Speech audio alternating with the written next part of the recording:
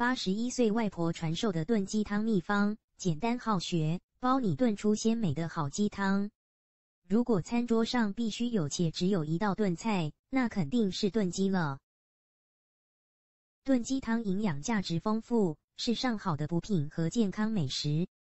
炖鸡汤的做法虽然并不复杂，但对锅的选择、火候的控制、加盐的比例和时机等等，都是有讲究的。把握好这些。才能确保营养不流失，味道也才会更加鲜美。小编八十一岁的外婆一辈子生活在农村，用自家散养的土鸡炖汤，烧的是柴火灶，炖出的鸡汤味道鲜美，肉质鲜嫩，那叫一个香呀！炖鸡要怎么样才能做的特别好吃？今天小编就把外婆教的方法分享给大家，希望你能喜欢。技巧一对锅的选择，外婆说炖鸡汤最好选用砂锅或者瓦罐。一方面，砂锅或者瓦罐是热的不良导体，锅壁会为里面的鸡汤保温，它的热量就不容易散发出去；另一方面，锅底的温度很高，也不至于直接通过锅壁传导到上面去，这样可以减少水分和香气的蒸发。如果换成铁锅或者其他金属锅，那炖的效果就不如砂锅和瓦罐做的那么鲜美了。技巧二：对鸡的处理。从外面买来的鸡一般叫宰杀好了，直接做就行。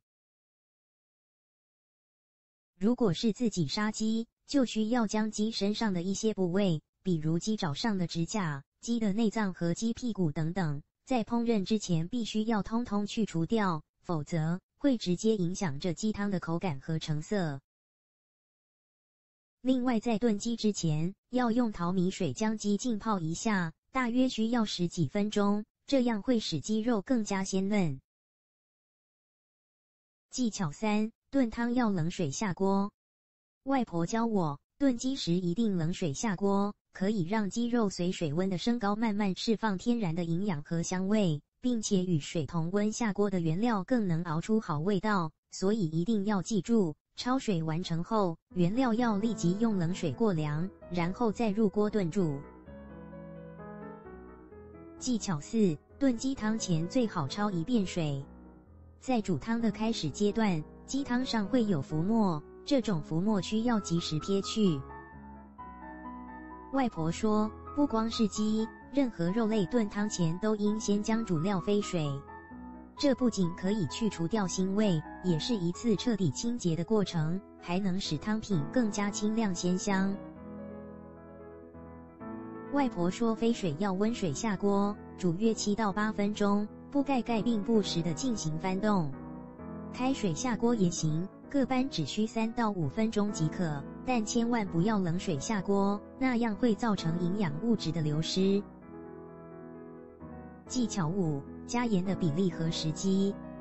外婆说鸡汤不能咸，要突出鸡本身的香味，而不是咸味，所以炖鸡味道宁淡勿咸。加盐的最佳时机是在关火前五分钟，不能在刚开始炖时就加盐或中途加盐，这样盐会与肉类发生化学反应，肉类里的蛋白质被锁定，鲜味就出不来了，肉也炖不烂。注意，放盐进去后不要搅拌，那会留下一股生盐味。技巧六：炖鸡汤要选择用小火炖。用小火炖鸡汤，香味物质不会气化蒸发，还可使鸡肉软烂不柴。操作的时候，应先大火约十分钟左右转小火，因为砂锅有很好的保温功能。若沸腾后再转小火，汤品就没那么鲜了。在十分钟内千万不要揭盖，否则汤就没了原有鲜味了。技巧七：炖汤只需加这三种调料。外婆说，外面饭店的大厨一般会说，他们的菜品或汤有几十种调料配成的秘方，这其实是在虚张声势。那些靠调料弄出来的味道，都不是好味道。真正的好味道就是食材的本身的味道，原汁原味才是真。炖鸡汤一般有盐、葱和姜就够了，其他啥都不需要。当然，在炖鸡汤的时候，你还可以加入大枣、枸杞、菌菇、冬瓜类等食材，可以使鸡汤更加鲜美。小贴士：炖鸡汤虽然是一种烹饪鸡肉的好方法，方法简单，营养丰富，但不能与李子、兔肉同食。